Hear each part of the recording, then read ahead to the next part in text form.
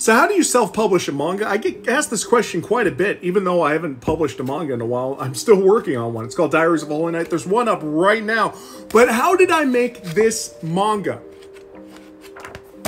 I'm going to tell you. I first started with this. It's a book called Diaries of a Holy Night. It took me, gosh, like seven years to write. Most people get done a book in like, I don't know, a couple of years, and then they make it. Well, I made mine into a book. It actually did pretty well, got published. And then I decided, actually, the publisher there decided that we should move forward with making a manga. So I did. I made Diaries of a Holy Knight. It's actually about my son, and he goes to fight demons in this other world with his friends. So that's the best way to explain it. It's also a really fun, but this this is free. Let me tell you how to actually make it. You need to first come up with a concept, get a story, and so then you're going to start taking these stories, and you got to look at your page. Every page in here of the manga is panels. And those panels are specific scene from the point of view that you have. So you have to start seeing, like, okay, this is a therapist talking to him about the PTSD he's going through. So, boom, right there. Because he's been through a lot of wars. And, like, he doesn't think he has PTSD. Therapist does. And then she starts to believe him. But you have to look at every one of those panels as a scene from any part of your manga. And you have to explain what's going on. Is there going to be talking? Is there going to be action? Is there going to be nothing? Like, what do you want to emphasize in each one of these scenes? And then what I did is I can't art, like at all. So I went ahead and found Panu Leluce, and I found them on a site called Fiverr. Fiverr is going to have every one of your needs for making manga, books, but almost anything. And they'll do it for you. They'll, heck, they, if you want a concept, you could pay people to give you concepts and scripts.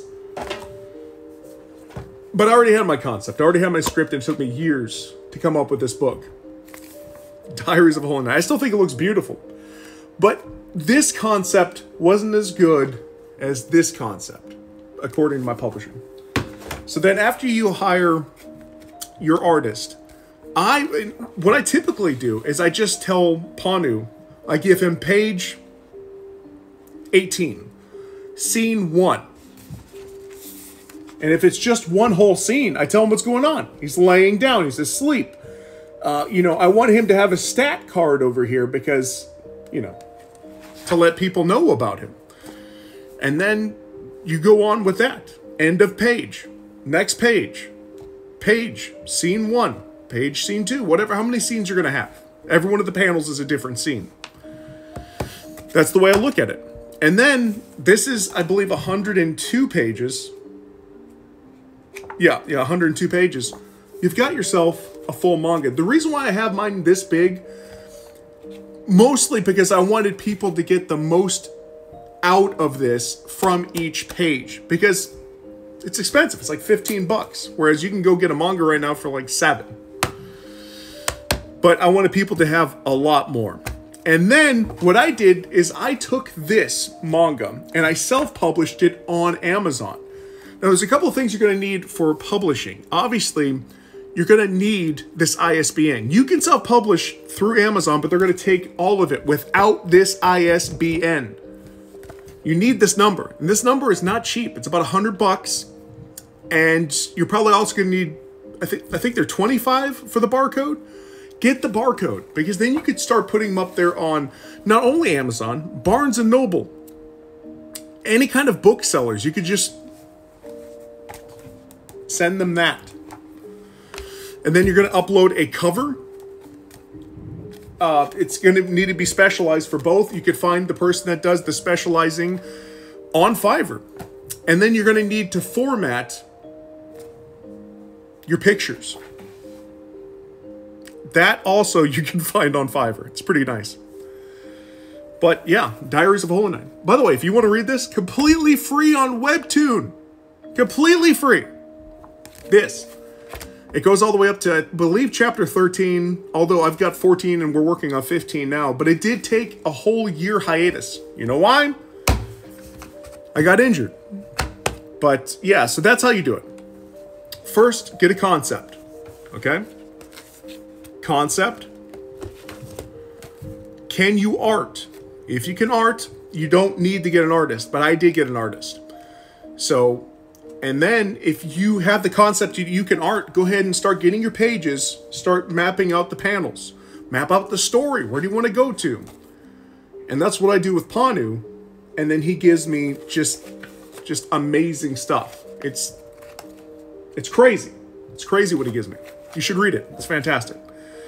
And then once you have that entire file, mine's just 100 pages, but once you get that entire file, then you're going to upload it to I go to Amazon. There's other self-publishers out there for eh, manga and comic books. You can go there. But I personally went to Amazon. And then I bought my ISBN because I wanted. No, here's what the ISBN does. I, I kind of went off on a tangent.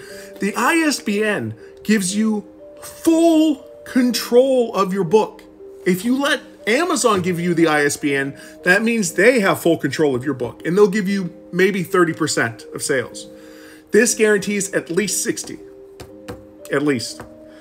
Because they're also, you know, making the book and then they're selling it kind of they're really not paying anything at all.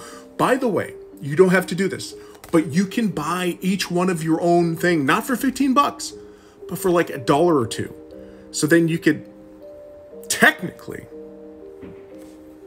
you know, get a hundred of those manga, which I've done. And, you know, just um not tell anybody that you're selling them. A lot of people do this. It's, it's not, I don't know why I'm acting like it's a secret. It's not a secret. So what you need is about 20,000 of these. For those $2, you're looking at 40 grand. and you sell them all for 10. While on Amazon, they're 15. Um, yeah, I mean, that's it. Uh, by the way, this book, so far in the manga where I have it right now with Panu, is only I think it's like five chapters into this book.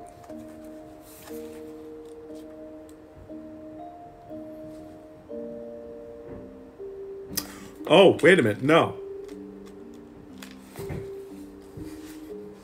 I'm not even cutting this up.